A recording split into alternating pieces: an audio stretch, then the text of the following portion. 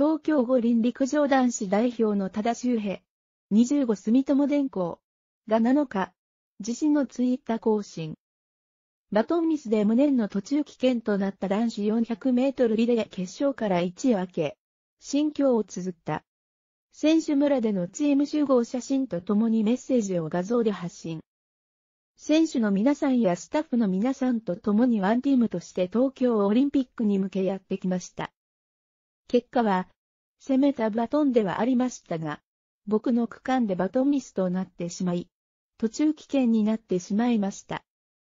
1日が立ち様々な感情が入り混じっていますが、ここまでサポートしてくださった選手、スタッフの皆さんへ本当に感謝の気持ちでいっぱいです。また力になるたくさんの応援、コロナ禍でオリンピックを開催していただき、ありがとうございました。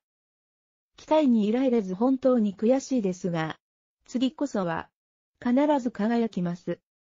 引き続き見守っていただけると嬉しいですと記した。前回大会で銀メダルのリレー侍はメダルの期待がかかる中、